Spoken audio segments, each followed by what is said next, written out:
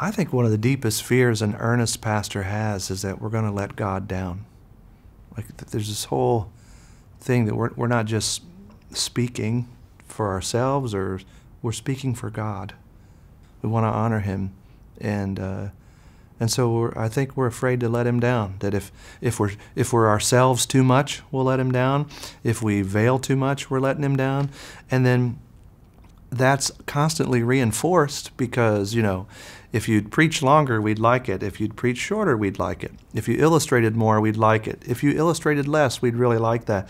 You know, not, so we're constantly scrutinized to do more, do less, and uh, so we can feel like we're letting God down, and we can feel like we're letting others down. And I think within that, we all want to do something significant for God, and we want to make a difference in people's lives. And so if we feel like we're letting God down, and we feel like we're letting other people down, then um, we can feel like quitting, you know. I think that's a deep fear within all of us.